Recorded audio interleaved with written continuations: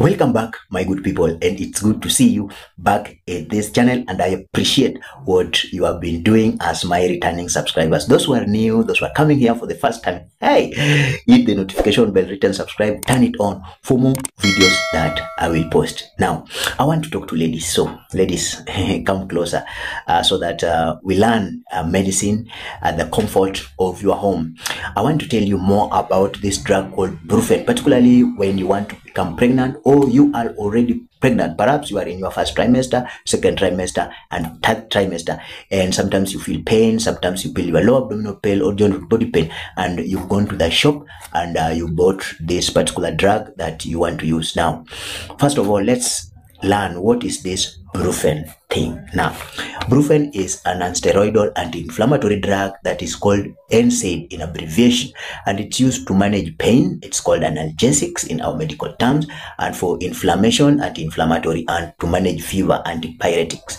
And it's available in trade names that uh, is there are very very many trade names available worldwide uh, popularly known trade names like uh, Midol, Advil and even Motrin. Uh, in Kenya also we have very very many but uh, I want just to introduce to you some like uh, Fenpro. Uh, it's a trade name. This is a ibuprofen uh, coming to a strength of 200 milligrams and we appreciate uh, this company called Inlas Pharma in Nairobi for distributing this. Also I have um, Ibuflam, trade name Ibuflam, coming to a strength of uh, 200 milligrams, and this is how it looks like. And our good guys called uh, Biodeal uh, Laboratory uh, Limited, are responsive for uh, for Ibuflam. Uh, these are all uh, Brufen, and uh, coming very far away from home. This is Jessic Edihel. Jessic Edihel, uh, I like it. It's from India, and it's coming the strength of 400 milligrams. This is very good for adult. There's no need of taking two. Uh, so you normally take 400 milligrams three times uh, a day. That is the dose uh, for adult. Children are also here, but uh, we give them syrups. So um, when you are managing pain, this drug is very, very important for pain, inflammation, and fever. And mostly uh, people use Brufen uh, when they have headache, muscle pain, and even fever relief. Pregnant mothers sometimes can uh, accidentally or mistakenly or unknowingly buy Brufen and they take because they feel pain in their lower abdomen. Sometimes you feel pain in the back and you can go uh, to uh, any chemist and buy this drug.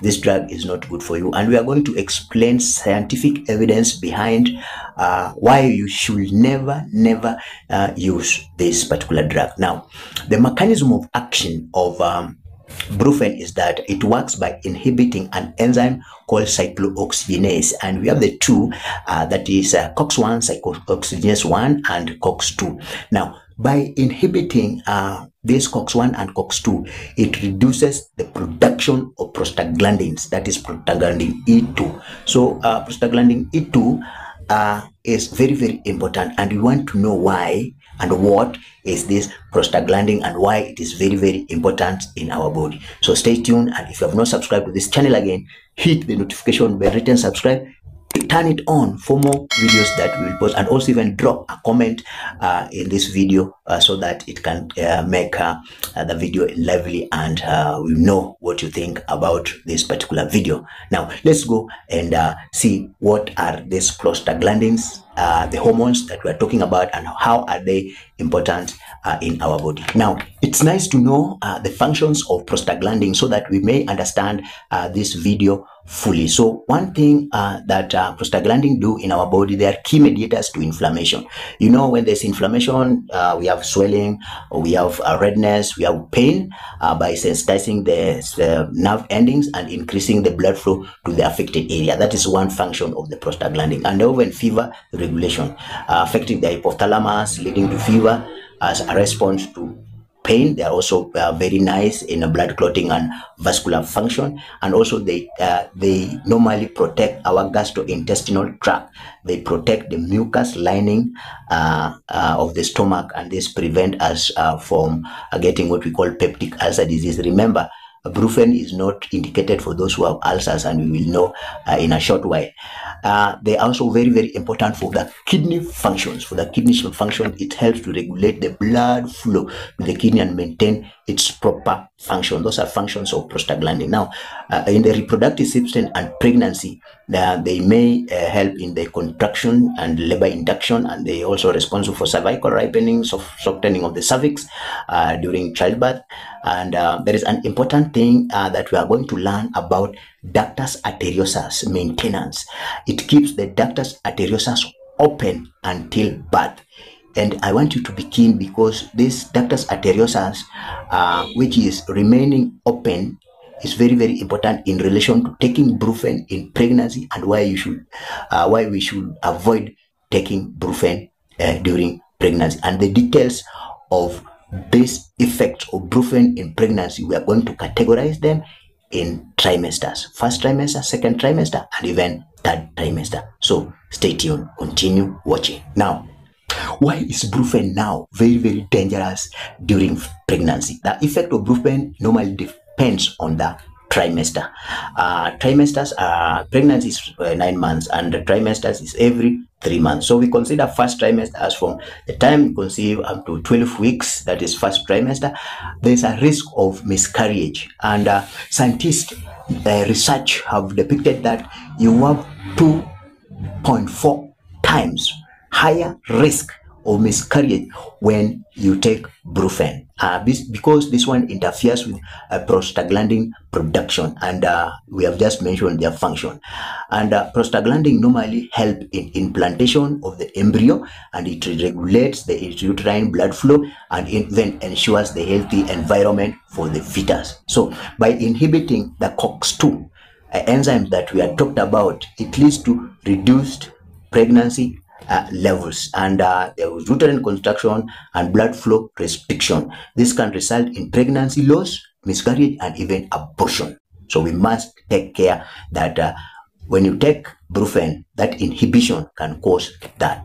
And uh, this also can even result into congenital heart defects and abdominal wall defect if you take brufen in first trimester. It can lead to a pregnancy loss, abortion, and miscarriage, and even interfering with the development of fetus because of that 2.4 higher risk of miscarriage. Now, what happens in the second trimester. Uh, at this part, there's less risk when you take brufen, but it poses concerns uh, because one major thing is that it reduces amniotic fluid levels, affecting the development of fetus.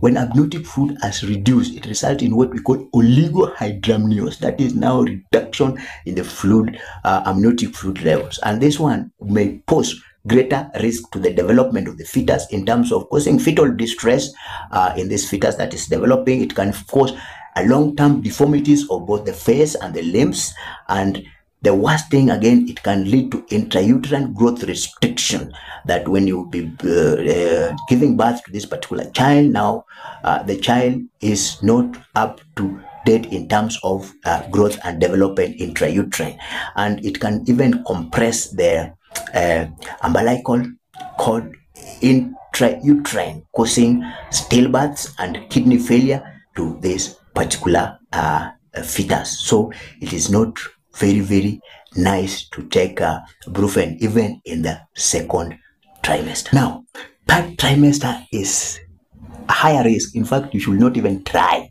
to take brufen in your last three months of pregnancy because this can cause premature closure of ductus arteriosus and we are going to learn about what is this ductus arteriosus uh, leading to heart and lung problems. Now ductus arteriosus is one of the shunts uh, that are helping uh, the fetus uh, during intrauterine growth. Remember we have ductus venosus and we have foramen ovale. Note that during development of the fetus the lung is normally not fully functional. It's not, it is flu- filled with fluids and it is non-functional uh, intrauterine. Ductus arteriosus, or the popularly called ductus botali is a shunt that normally connects the trunk of pulmonary artery uh, to the aorta, allowing the blood to bypass the lungs, the non-functional lungs uh, before birth. Remember, the baby intrauterine, the fetus is not using the lungs. So the ductus arteriosus is just a shunt that is using to bypass uh, the lungs. Now, ductus arteriosus should remain open intrauterine due to high levels of this prostaglandin that we are talking about and it keeps the smooth muscle walls relaxed. Now, why Brufen is now contraindicated in this scenario? Brufen uh, inhibits the COX-1 and COX-2. This reduces the production of prostaglandins that we are talking about, which is uh, crucial for keeping this ductus arteriosus open to allow smooth blood flow. Now, as this level of prostaglandin drops due to you taking Brufen, it begins to constrict and close prematurely intrauterine. So it means that there is no proper blood supply in the fetal intrauterine. Now, premature closure forces the blood to enter the lungs now because it is it's not working, leading to pulmonary hypertension. Then be so much stress to the lung, even to the right uh, side of the heart of the fetus, and this normally uh, bring what we call heart failure and eventually death of the fetus, resulting into what we call intrauterine fetal demise. So, my fellow ladies, my fellow men, do not allow your woman to take Brufen during pregnancy because sometimes we get miscarriages and we do not know where they are coming from.